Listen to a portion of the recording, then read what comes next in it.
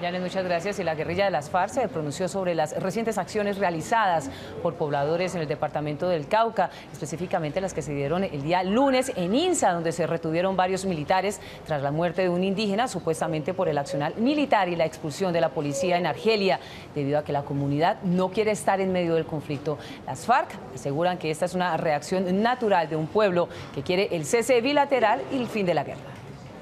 Pablo Catatumbo, negociador de las FARC, se refirió a los hechos ocurridos esta semana en el departamento del Cauca. El primero tiene que ver con la muerte de un indígena en Insá, en el que fueron retenidos por la comunidad 30 militares y luego liberados. El otro caso tiene que ver con la expulsión de la fuerza pública del casco urbano en el municipio de Argelia, Vereda del Mango, por parte de los campesinos. El repudio de la población a la fuerza pública manifestado en Argelia e Insá es la demostración clara del fracaso de la mal llamada política de seguridad democrática.